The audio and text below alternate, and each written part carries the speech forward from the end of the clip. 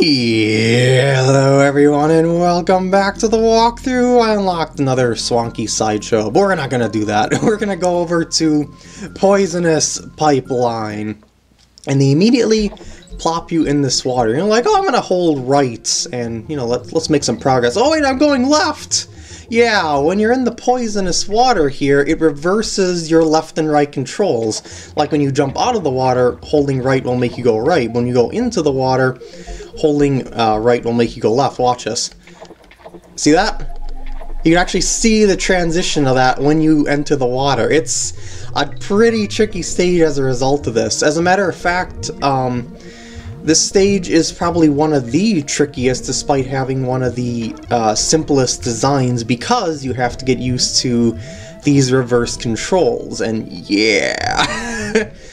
well, maybe I shouldn't say that because it's possible to get through this if you go really, really carefully. And when you jump out of the water, be mindful that your, your controls are going to go back to normal when you jump out of it. So get yourself in position before you jump out of the water so that you can uh, move yourself the way that you want to move uh, when you jump jump out of the water and you don't have to fiddle with the controls. Um, you might have noticed something during this walkthrough that I didn't explain, and there's a reason why I didn't explain it. The game's story. Now, why did these two set off on an adventure? Well, the game itself, for some odd reason, never really seems to explain it right off the bat.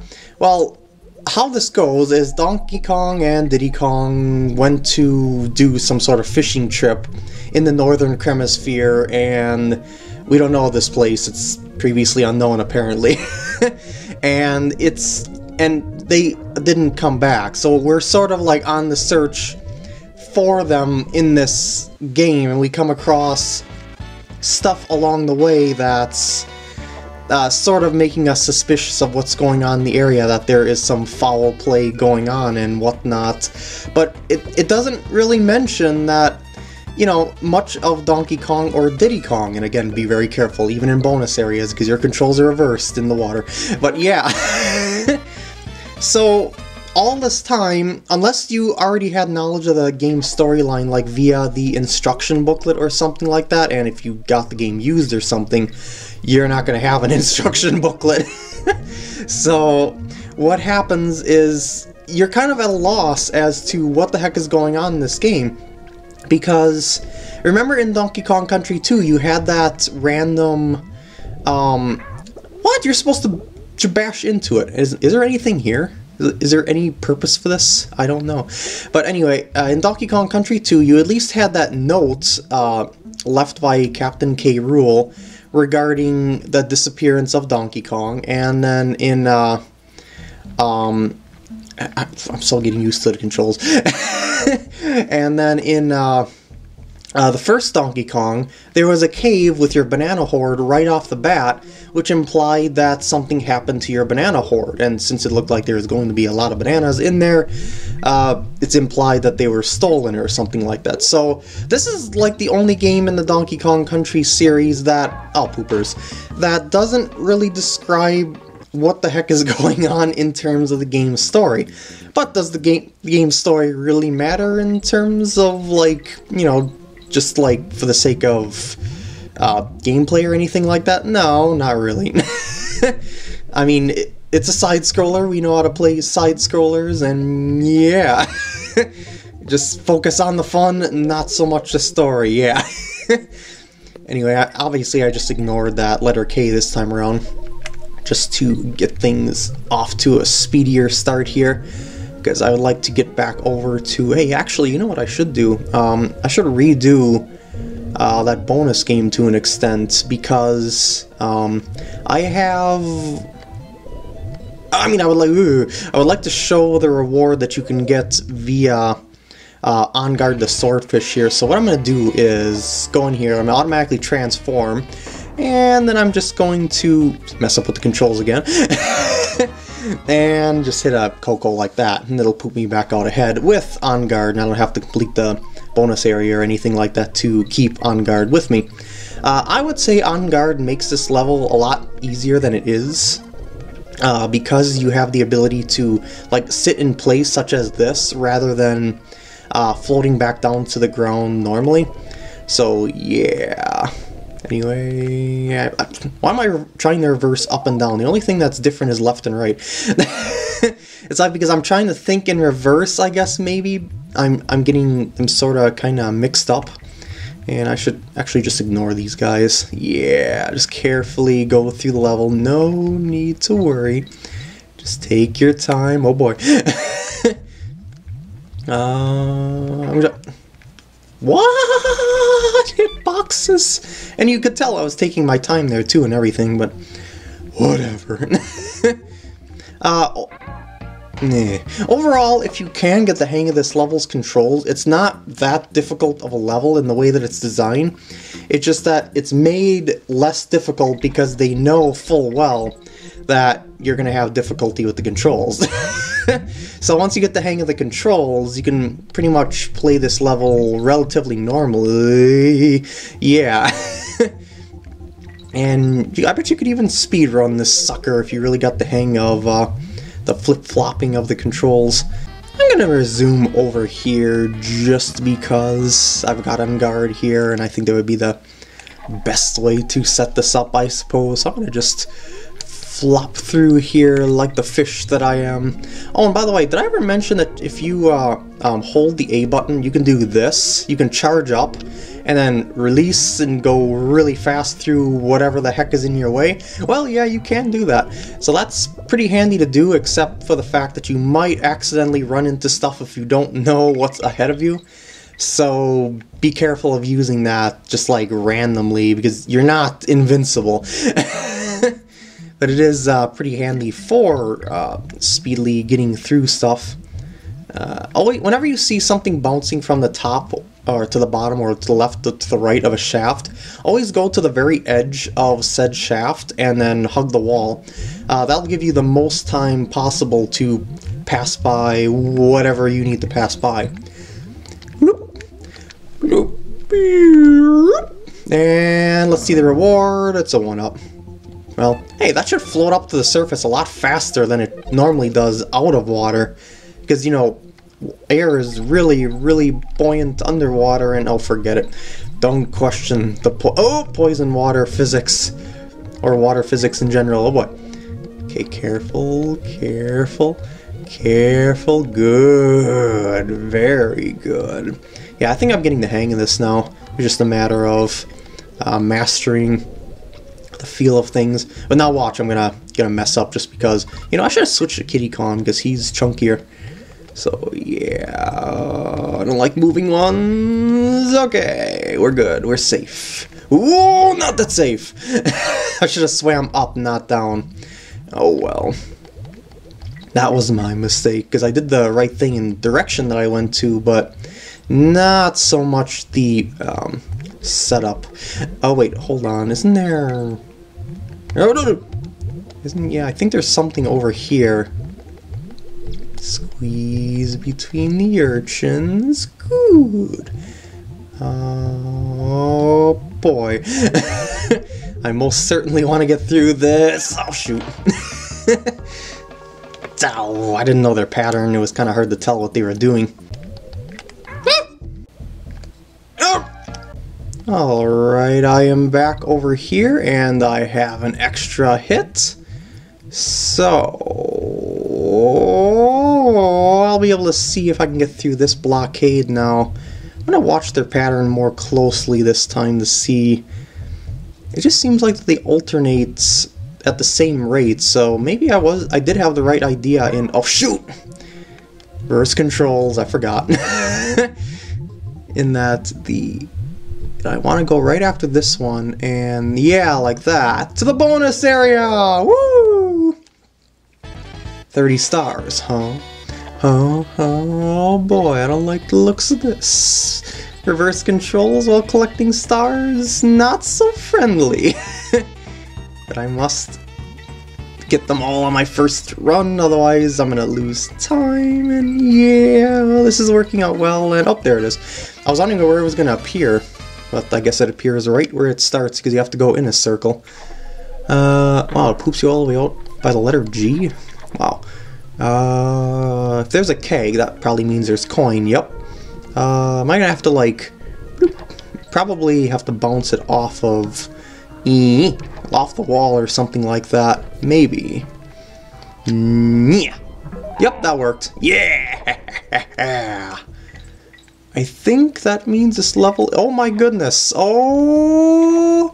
Oh, I gotta get myself out of the water. Is it done? It's done! Yeah! Yeah!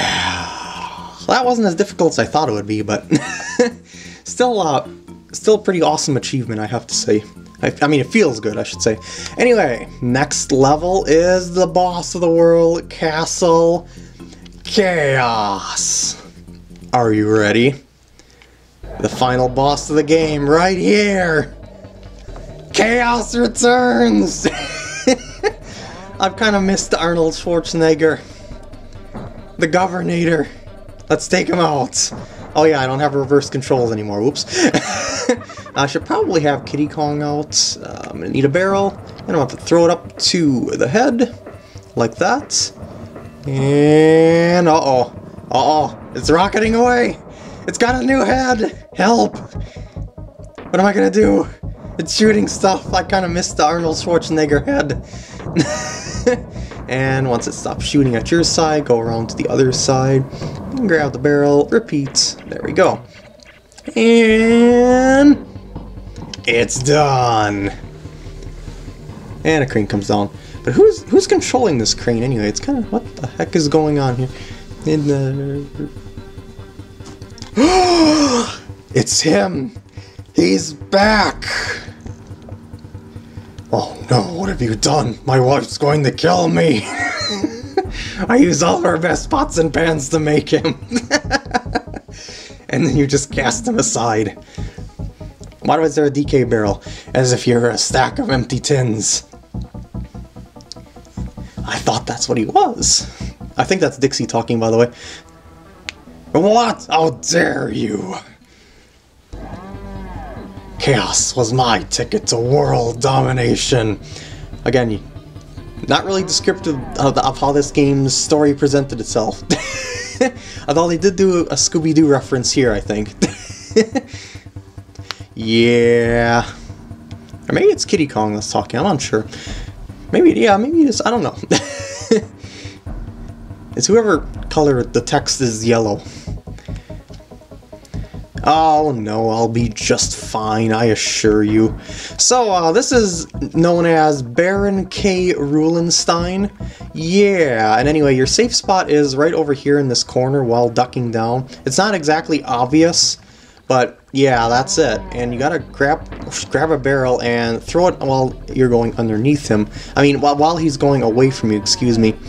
Uh, it's and you can only pull the ones that are um, slightly pulled up, if that makes sense, because uh, the, they have to be in set in place to have a barrel come out of them, basically. Yep, thank you. Thank you very much. And I will grab this and I will throw this. There we go. And then he goes all crazy. Just watch him as he bounces off the ground and the walls, and you'll be just fine after a while because he's going to calm down after he gets control of his somehow flight machine that somehow keeps him up in the air. I have no idea how that works because it's tiny and he's big. I guess don't question the physics, and I need to get over. Oh, shoot, shoot, shoot, shoot, shoot! it's sort of tricky, but it's most certainly possible to do. Oh, can I just like duck under him all the time? Like, that'd be kind of handy. I kind of forgot that. Anyway, come on, move it. Move it lose it. Yeah, I think I'm gonna. I think it's better off to wait for him to uh, go away once you get the barrel fall. I mean, you make the barrel fall from the top, and then uh, you wait for him to do the cycle again. Now watch this. I'm gonna hit a button. It's gonna switch things around. I'll watch. Watch the floor. things are getting serious now. So, you gotta jump across there while avoiding his propeller of doom, as well as his body, of course. Not all that difficult to do, you just have to be careful.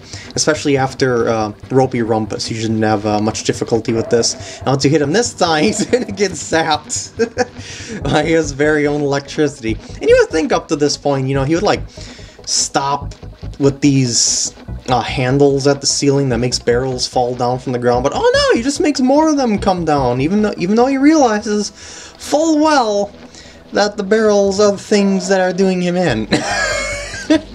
yeah. Okay, a little bit more. It's a little bit more. And he's up there. He's gonna move us over to this side. That's okay.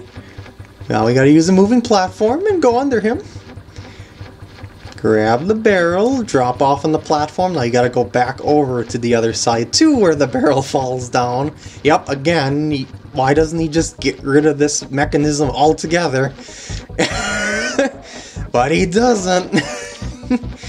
anyway, just keep repeating it and you will eventually win.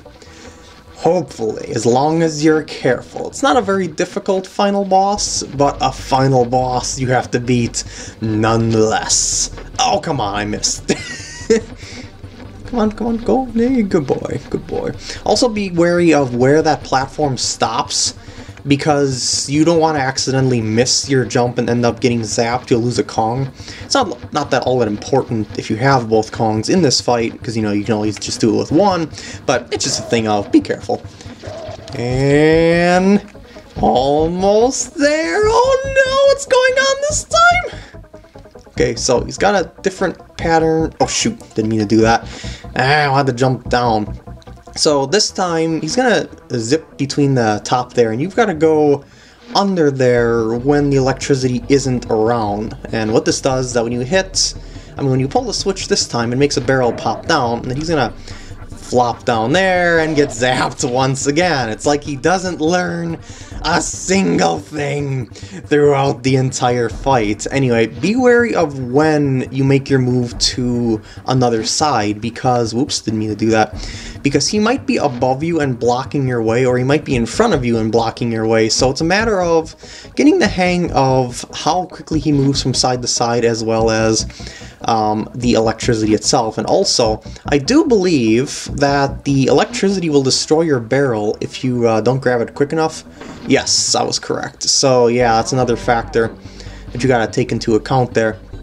Not all that difficult, but still something that you gotta gotta focus on here. Like I'm gonna do it right now because it's safe, and this should be it. Oh, wait, I thought there was one. I thought that was the last hit. well, I was mistaken. That's fine. But this is the uh, uh, last phase of it. I thought the last phase took two hits, but hey, whatever, whatever, it's fine. And uh, as you notice, that that electricity doesn't really get any faster or slower, no matter what. So you don't really have to worry about um, uh, offsetting your timing or anything like that. Uh, as you go along, so just focus on winning. yeah, you just plopped out that hatch in the background there, and he gave us a bonus coin.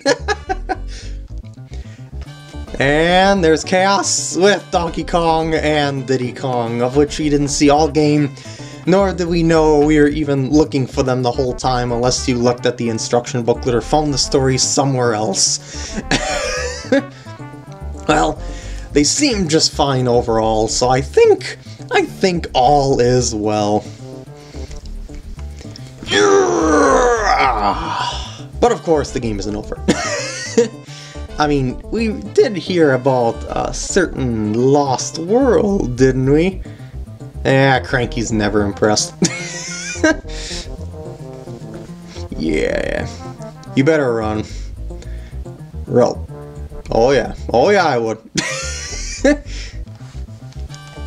so now we get it like a photo album credits thingamabob here, I guess you could say, showing the enemies and the names of set enemies as you go. But yeah, I always found that funny about this game in that it doesn't really tell you the story as you go. Like, it just throws you right into the game. And even if you were to say like hang on the title screen, you won't get a storyline or anything like that. You'll just see uh, clips from the game and stuff like that. So it's like, well, what's the motivation to do this? I guess they're assuming that you have the uh, um, instruction booklet and stuff like that to be able to do so, but even so, I don't know. I mean, there, there was a used game market when this game came out, so... Mm, I don't know. Well, I guess, I suppose the internet did exist too, so that's another thing. So, yeah. I already went through all the, uh, names of these enemies, didn't I? Yeah, I did, didn't I? You know, I wonder if I if that's counted as like me spoiling stuff as I go, because you really don't know what the names of the enemies are either, unless you have the instruction booklet, because I'm pretty sure in the instruction book there is a, a, brief a list of some enemies that they show in the game and they give the names of them and stuff like that, but most of them are unnamed. so this is where you would hear the names of the enemies, right here. Normally, if you didn't watch my walkthrough. What are you blocking? There's no Kong around you. There's, there's nothing to fear, there's no Kong, you're just there. Uh, and we haven't seen those guys yet. They are uh, uh, some some enemies in the Lost World, Kuff 'n' Klout. So yeah, there's still a little bit of new stuff left to see as well as a certain rocket level in the Lost World, which is probably the most difficult level in the game. Maybe, though, I'm not sure, because I, I practice that level a lot uh, when I used to play this game a lot, so maybe I'll have the hang of it still and uh, be able to do it relatively quickly. Hey, you're gonna fall off the edge! Don't don't fall off the edge, please. Gotta be careful around the mountaintops, because down is death. And you don't want that. Oh no. No, you don't. And some of these uh, enemy appearances don't really appear in the spots that they show, like Nid there. Uh, not not Lemguin, I mean I mean Nid, the one before Lemguin, and even this one right here, Minkey. They're showing them in spots that they wouldn't normally appear in the game. kind of weird how they uh, um, are demonstrating the enemies here. Maybe because they wanted to show them in a different environment than they're usually in. Buzz is everywhere, by the way, in case you didn't realize that. uh, there's a swoopy level in the Lost World as well that's going to be quite a challenge as well. Overall, the Lost World I'm, I'm looking forward to quite a bit, even if it is going to be extremely difficult to uh, finish it off. And look at this guy. Look at this guy. He's he's he shouldn't be here. He's he's normally in the factory levels. yeah. this goes on for a while though, so admittedly I'm kind of having difficulty coming up with new commentary. Unfortunately. Because, you know, it's just showing the enemies and yeah. I like the poses that they uh, uh, catch with some of the enemies, like there, right there with its mouth open, you got the toothy grin, the snarly teeth. I'm not sure if this fish is just chunky or if it's like an inflatable puffer fish or something like that. Could be either or. Could be either or. You never know. well, I guess I am sort of coming up with commentary as I go, as I watch the screen and think of stuff. Yeah, and that's the um, thingamabob that lit up the area, the Gleamin' Bream, um, in that one dark underwater level. Yeah, and now we got special artwork for the bosses. Oh, and by the way, um, another thing the game doesn't really explain is uh, these bosses' sort of kind of origins uh, like Barbos, the one, the super spiky urchin, you know, the really big urchin, apparently is the leader of these bosses. I don't know about Kaos though. Kaos is is more like controlled by K. Rool, I should say Baron K. Roolenstein. But yeah, um, the next one after Bleak is the one that's supposedly the leader. And may I add that uh, Barbos here is actually a she. Yeah, I don't even say that either. so I'm kind of at a loss as to Um, I mean, when I used to play this game as a kid, I was at a loss as to uh, the origin of a lot of things. So, yeah, it wasn't until um, I, became an internet goer that I was. that's a good pose there. That uh, I was able to learn about this stuff uh, because it's just not explained in the game for some odd reason. Like, again, going back to Donkey Kong Country 1 and 2, there were little snippets of the story thrown in there uh, when you talk to characters like Cranky and uh, uh, Wrinkly Kong, you know, uh, Wrinkly's uh, school. Yeah. So, this is like a pretty big oversight for this game. I mean, granted, the game has really good level design overall, but it, it just seems like that they somehow forgot about the story. I mean, just imagine going through this game and not realizing that Donkey Kong and Kitty Kong were missing. It just made it look like that Dixie Kong and Kiddy Kong went out on an adventure on their own. So, yeah. and I think they're going to show a bear here that we didn't see just yet. Maybe. Could be. Might be. I'm not sure if they will. Uh, it's a bear that likes to destroy things. I think his name is Boomer. But we're going to see him very shortly, actually.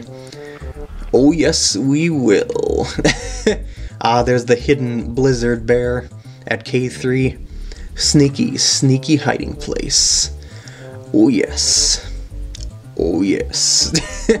I think there's one more coming on. Oh, no. Oh, yeah, there's Boomer. Yep. We haven't seen Boomer yet. We will, though. Oh, yeah. Who's the crucial Kongs? That they didn't really tell much about through the entire game story. That wasn't really much of a story whatsoever. Funky Kong! oh, yeah. I guess they're just like throwing sprites wherever they please in this uh, um, enemy and friend showcase here because as you know they wouldn't only appear in these places either their sprites would be in their own domains I guess you could say oh there's Cranky he seems happy now but oh no he's the biggest sore loser you will ever see well Actually, maybe not. K. And Sign probably is uh, the worst sore loser ever.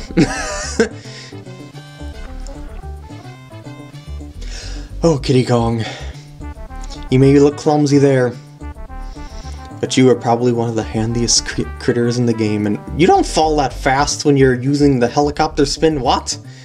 What? Then how did you land without taking any... Oh, no, forget it. I was gonna say, how do you land without taking any damage and for uh, oh I guess there's no fall damage in this game but oh forget it I'm just kind of rambling around here anyway as I usually say this game was not made by me it was made by these awesome people in the credits I just made the walkthrough to help and entertain people which I hope it did it's not over yet though of course as I said there's still uh, more 100%ing to do in fact I don't think I reach 100% just yet uh, because it has to do with the uh, stuff you clear and the stuff you collect and yeah. It's kind of kind of odd that they have the bonus music in the credits. I don't know, I always found that kind of odd because it's not really a bonus so much as, as it is just credits and yeah, when I when I think of credits, I think of like a closing song, like something that touches the hearts. I guess you could say. I don't know. so yeah, but even with uh, the stuff that I'm mentioning here, um, the game is very good overall. Uh, though there is a um, uh, there are people that don't like, I should say that don't consider this game the uh, all that good um, in this series, but I don't know, I rather like it myself. Maybe because I'm I'm focused more on like level design and stuff like that than anything else. Like maybe people care more about story. I mean, some people care more about story and stuff like that. I don't know. I'm just kind of speculating. As I said, running sort of low on commentary when, you know, just kind of like reading through a bunch of stuff going on on screen. Obviously, this is the uh, uh, music box thingamabob we seen at the very beginning of the game, by the way. But there's no pegs on it. I don't even know how that works, because it just keeps going in circles and you see new credits, and I'm at 84%. Yeah, I, am not going to beat Cranky's time, because, you know, this is a walkthrough, and I, it, it's just very difficult to do such a thing during a walkthrough, especially um, when you are um, playing with the toughest code on, unless you're really good at the game. But yeah, right now I am at 84% with the rating of Cool Kong. That rating will go up as the percentage goes up. But this is like the uh, record board of said um, said game. It's it, it, you see it after you beat the game, but there's going to be, as I, as I said, more to see here. So yeah. Anyway, let's see our save file here. Yep, you can see the percentage on that as well as the, the time taken on that. And now, what if I were to go back to a stage? Is my life counter still save? No, it doesn't. What a shame. well, what I might do is um, get a bunch of lives off camera just to be safe and whatnot, like play through the first couple of stages just to grind for lives, just to make things a lot smoother in said game. Although it doesn't really matter because, you know, I can save anywhere at wrinkly save cave and whatnot, as well as using uh, save states and stuff like that. But yeah, you get what I'm saying here. Is that, and I, I kind of miss the life counter to see how high it would go up more than anything, is what I'm saying. Although maybe I wasn't all that descriptive of it. but anyway, I've rambled on long enough here, so I'm to end off the part. Hope you enjoyed, and I'll see you in the next parts. Whee!